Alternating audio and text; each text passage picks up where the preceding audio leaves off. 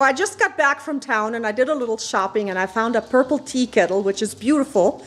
And Stephen helped me carry it in the house. And Nita went ballistic about the tea kettle. So let's see if she does it.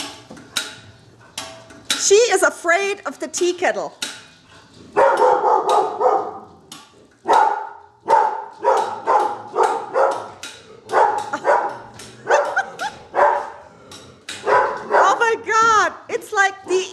tea kettle, Nita. Nita, it's a tea kettle. Nita, Nita, you are so crazy. Honey, look. I mean, Nita, look. It's a tea kettle. Oh my God, it's the evil tea kettle.